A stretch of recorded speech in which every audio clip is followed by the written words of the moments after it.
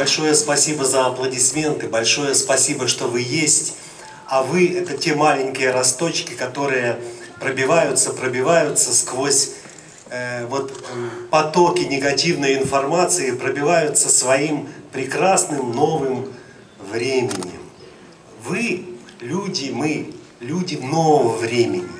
Кто-то остался в старом, он еще воюет, он еще не так понимает, э, что произошло, а произошло прекрасное.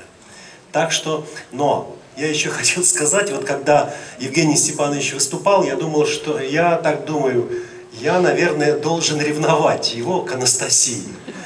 Потому что, потому что он как-то так вот все делает. То есть вот это его дело, его время. Я только сделал начало, я написал. Но тем не менее я хочу подарить ему книжку, в обложке, которую сделал великий мастер России. Был обыкновенный человек, прочитал Анастасию и как стал делать резьбу по дереву. У меня есть его стол, у меня есть его э, кресло. И это уника... Вещи уникальнейшей работы. К нему вообще невозможно попасть, чтобы он сделал. Но когда его просят что-нибудь сделать для Анастасии, так как он с нее начал, он э, всегда бросает все свои дела и делает. И вот он сделал из дерева вот такую обложку первой книги Анастасии. Он способен вырезать даже мельчайшие детали. Это кедр, это бук. Ну вот э, я...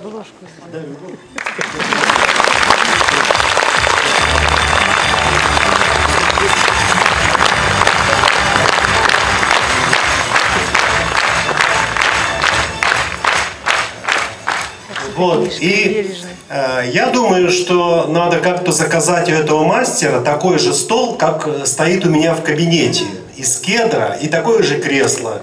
И я это сделаю. Правда, делает он долго, не один год, выдерживая там всякие э, деревья.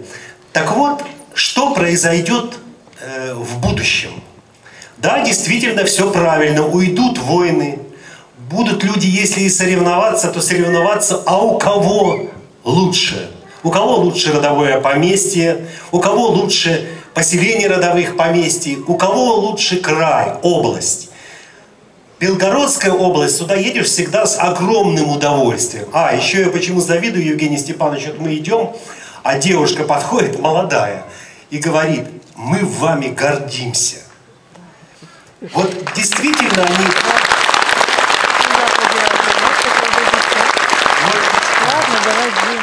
вот э, есть э, вот какая-то оппозиция э, у власти, а здесь в Белгороде, ну, у федеральной власти, а здесь в Белгороде действительно гордятся. Вот с кем не говоришь, да, вот у нас Евгений Степанович вот это вот, да, у нас Евгений Степанович вот это вот. Но не превратилось бы это, э, как бы, э, не превратили бы вы власть, в, власть в няньку.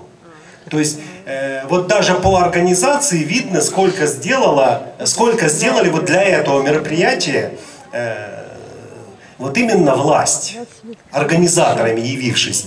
И перенесли даже вот как бы мероприятие, даже никто, наверное, не заметил, как так произошло. Э, оно раз и перенесено в такой прекрасный зал, и ничего не страшно, никакие природные явления. Я готов еще с вами говорить и буду говорить, и может быть завтра. А сейчас э, спасибо вам, что вы есть.